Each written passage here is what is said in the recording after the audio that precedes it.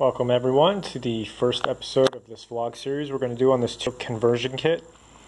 Basically what we're going to cover here is what might fail over the life of this engine kit and talk about some issues that I had when I got it out of the box and put it onto the bike itself and hopefully those, some of those tips will help you if you're putting on a kit yourself. So stay tuned, we're going to cover some of those points and we'll go from there. So one of the most time-consuming ones was definitely putting the sprocket on. Uh, there's a couple pieces, and you'll find out if, when you get your kit, or if you watch anyone else's videos, that just usually takes the longest, lining all these up, getting everything perfectly centered so that this is uh, not wobbly, so that the chain doesn't jump. Uh, another thing I had issues with was the clearance on my air filter box fitting the frame um, now, don't do this. I'm not recommending this. This is what I'm doing on this particular bike. But I omitted the filter housing itself, and I just have these. Just if uh, we're riding somewhere and it's dirty, or if it's rainy, I can just kind of push these over. That way, nothing dirty is getting sucked into the air filter itself and going down to the carburetor. Um, um, the cover here, I had to go out and get a new screw they powder coated or you know spray painted everything here.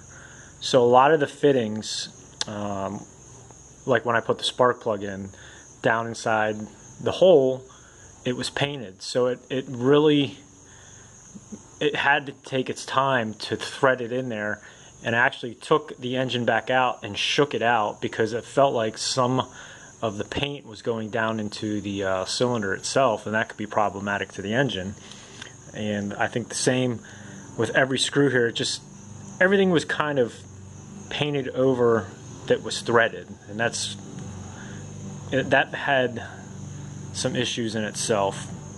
This one stripped out. This was a real pain in the neck because on the back there's a nut that was powder coated over. I keep saying powder coated it's probably spray paint but because you got to take this cover off to get the chain to go on and this this had to come off and I actually put a little grease inside here. Uh, that was another problem area.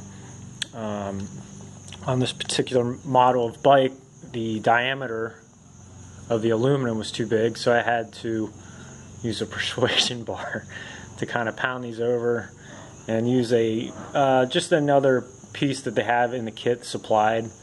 Um, it just mounted around the side here instead of uh, a nicer, cleaner look. And what I actually did was the bolts here were on the back down here. And these were longer, and that's where I needed longer bolts. So what I did was flip-flopped the bolts that were in the back, you know, flip-flopped and vice versa. Um, the tank itself, um, oh yeah, petcock on the other side. Same thing. Spray painted up into the threading, so putting the petcock shutoff valve on was a real pain in the neck, and I thought I was stripping it, honestly. Uh, but it turned out alright. Um, aftermath. Had to take this out because it started to drip.